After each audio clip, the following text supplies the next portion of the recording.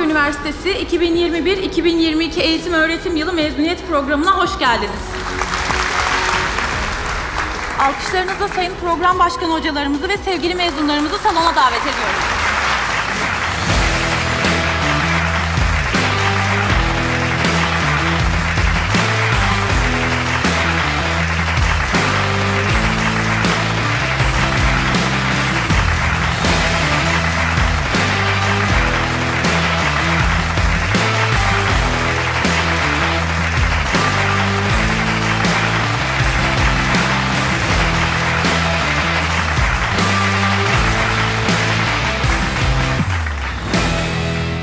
Sevgili mezunlar, Türkiye'nin en güzide üniversitelerin başında gelen Fenerbahçe Üniversitesi'nden mezun oldunuz.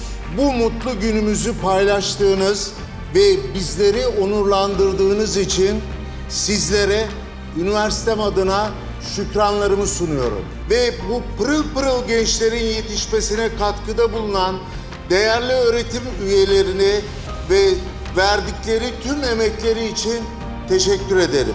İlkler çok önemlidir. Sizler de bu kurumun ilk mezunları oluyorsunuz. Başarılı olacağınızdan hiç kuşku duymuyoruz. Yüce önderimiz Mustafa Kemal Atatürk'ün ifadesiyle bilimin temelini oluşturan kuşkucu, sorgulayıcı ve akılcı anlayışı da kendinize ilke edinin. Bu değerlerden de asla ödün vermeyin. Bu duygu ve düşüncelerle sizlere bundan sonraki yaşamanız için yolunuz açık ve aydınlık olsun diyor. Hepinizi sevgiyle kucaklıyorum. Meslek Yüksek Okulumuzdan birincilik derecesiyle mezun olan Diyaliz Programı öğrencisi Nagihan Nur Koyuncu'yu ödülünü almak üzere sahneye davet ediyorum. Meslek Yüksek Okulumuzdan ikincilik derecesiyle mezun olan Diyaliz Programı öğrencisi Sude Altun'u ödülünü almak üzere sahneye davet ediyorum. Üçüncülük derecesiyle mezun olan Tıbbi Laboratuvar Teknikleri Programı öğrencisi Pakize Karadaş'ı